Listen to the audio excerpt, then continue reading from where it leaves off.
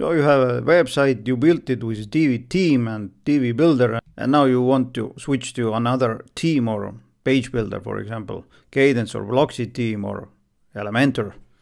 Seems like a nice idea, but maybe you don't know there is a problem. I'm gonna show you what the problem is. This is a site built with Divi, looks good, alright, everything is good.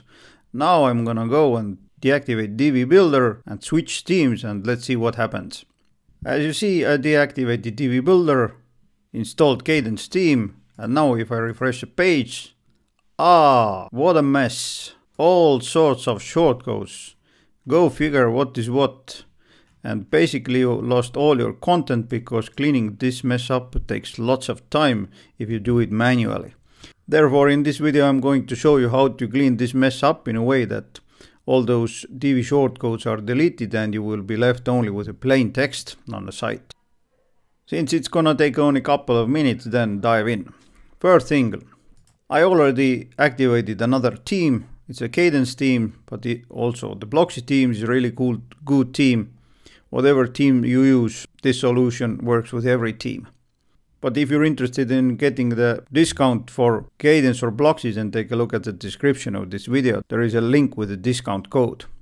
So, Divi is deactivated, Kadence is activated. Now let's search for Bye Bye Divi. As you see, the seanbarton.co.uk is a first link. I'm gonna put the link to the description of this video. Read everything Sean is writing here and now download this plugin. Next go to plugins, add new and now upload and activate the Bye Bye Divi plugin. After that, go under the settings, Bye Bye Divi and run a test. It doesn't do anything, just shows you that this is the before and this is the after. If you're satisfied with it, then just press on the Bye Bye Divi button. But there is a one thing I would suggest you to do. Go to the plugins, add new and search for WP Vivid plugin. Why I suggest you to do that is that we're going to make a backup before we clean up the Divi shortcode mess. So I'm going to activate it. Next I'm going to select the database plus files and now I'm going to click on backup now. Now it depends on your site size. It may take a couple of minutes or 20 seconds. It depends on your site size. So the backup is done. Now I'm going to go to the settings Bye Bye Divi. Click on it. Okay.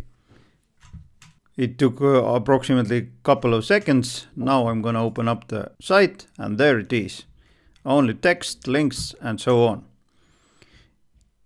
As you see it removed also the images and it's because the Divi has the image links between the shortcodes therefore there are no images but all the text are there. Same with this page and this page. So if you're satisfied with the result the Bye Bye Divi did for you then go back to the Sean Barton site, find this uh, donate button and buy uh, Sean a beer. This way you can thank him for doing the hard work for you.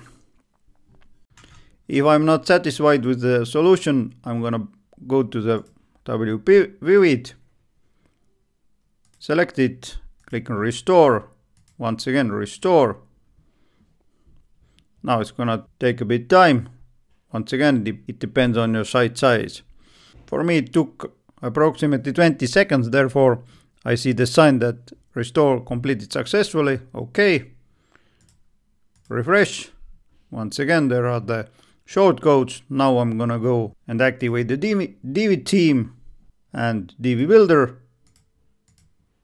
Now I'm gonna refresh and my Divi site is back up.